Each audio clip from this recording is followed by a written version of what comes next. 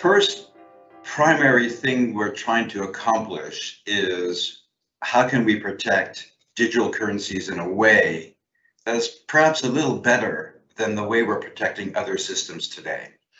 You, you hear in the news all the time that we're being compromised.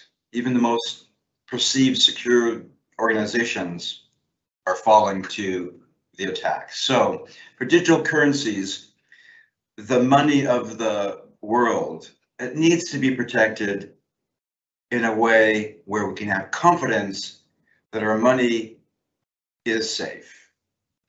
Today's security is very complex, it's very costly, it's very manual in its and its process, and it's very decentralized, fragmented, all kinds of security standards all over the place. For therefore, for small fintech companies, it's almost impossible for them to deal with the burden of security. So the task of the Security and Assurance Working Group is, can we reduce that complexity while increasing the assurance level and decreasing the cost level? How can we expect this highly innovative industry to survive the burden of security, but it must, it must find a way. So collectively, we've adopted a new model that has been published in ITU, and we have a uh, security validation uh, platform that we're demonstrating as a method, a systematic formal-based method to apply security to a digital currency. But it takes one fundamental approach that is different it starts with the target itself. It starts with defining to a sufficient level of detail what is it that we're protecting. And that tends to be one of the least things that organizations define for a number of reasons. Here we're starting with what is it that we're trying to protect? And we're trying to find a common approach to protecting digital currencies? Are they truly all that different?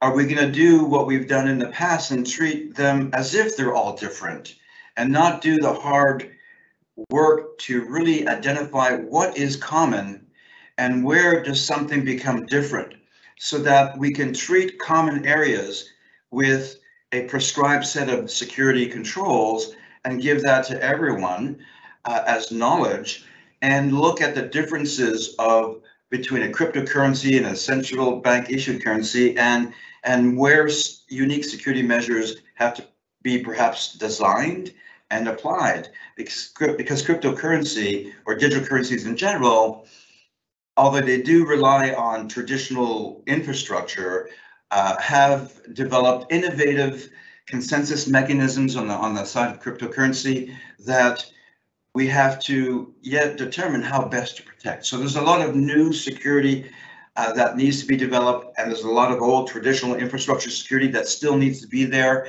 How can all this massive collective knowledge be provided in a way that can be consumed by those companies developing these offerings?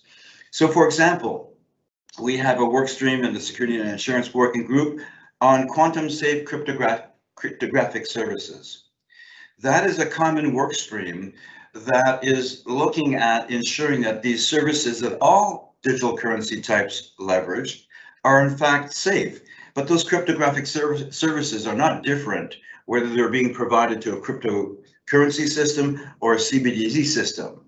We want to develop strong, high assurance and confidence of protection knowledge for what is common, distribute that out, and deal with the unique aspects of digital currencies. We are decomposing the target into its enabling value processes and value assets so that we can so that everyone in security, including including the business people, the threat people, the protection people, and the audit people, can all look at the same thing and say, oh, that's what we're protecting. The target is everything. And we're spending a lot of work in the security group defining the target. Now that seems a little odd, but clearly if you don't understand the target, how can you apply what we're trying to call precision security? Today, the security industry is based on notions where they apply a bit of confidentiality, integrity, availability, but really the application of security is at a much detailed level, and we want to know that effective controls are in fact in place. So we're trying to go, and, and notional security is all you can sort of articulate if you don't understand the target.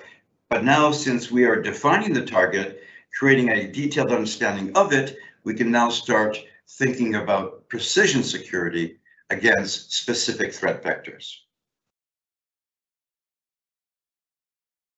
Well, the, the digital currency ontology matrix model is building on what I said earlier about the target, it's saying that all digital currency types must be described by a set of notions and distinctions.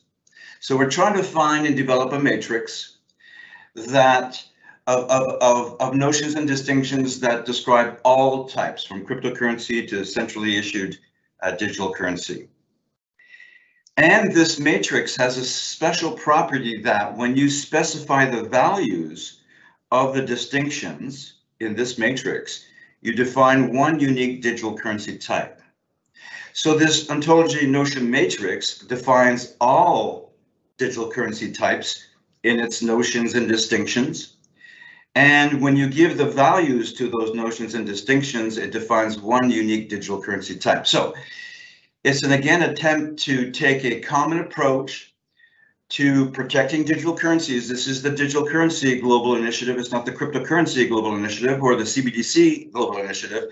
We're all digital currencies and, and we're trying to uh, quantify how architecture or technology change from policy decisions. So the ontology notion by design is trying to remove all that language like a wallet. How does a wallet that we know and familiar in the physical world hold digital currency? It's just old language being maintained in the new world. Well, a wallet for me is just a digital currency store. Very boring, but there's no debate about what that word means. So the, the, the, the ontology notion is to use that neutral language. What is it that describes all digital currency types? How can I specify one?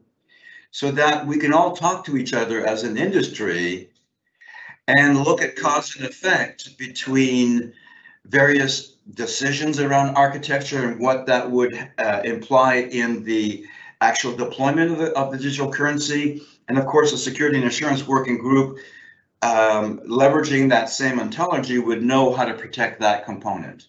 Oh, yes, we know how to protect digital currency stores. We did that in the security and assurance working group. Here it is. So basically, if you look at digital currencies, you have the policy people who represent the issuers or the people that will run the currency. Uh, but you also have uh, the architecture people, the technology people, the system design people, the system deploy and operations before it becomes an actual currency that can be used uh, there's a lot of decision making to the end product of what uh, digital currency technologies and systems and even vendors will be used. So we want to be able to have a much easier conversation about cause and effect policy decisions and what that has as an effect on architecture and, and get that sort of language and relationship defined and accepted so that when the industry evolves at this incredible rate, we're evolving in a lesser state of confusion, right? We, we have more understanding between each other of the fundamentals of things, uh, as opposed to dealing with that top layer of the language about people talking about everything. So we're trying to really bring that down to, to a set of finite uh, components uh, so that the problem so that we, we don't deal with the human induced complexity problem of everyone writing about it and really using different meanings and terms. And we have this sort of body of knowledge, which is very diverse, is how can we normalize, uh, render as common as possible uh, the foundation of this work to allow really higher value analysis to occur with greater clarity.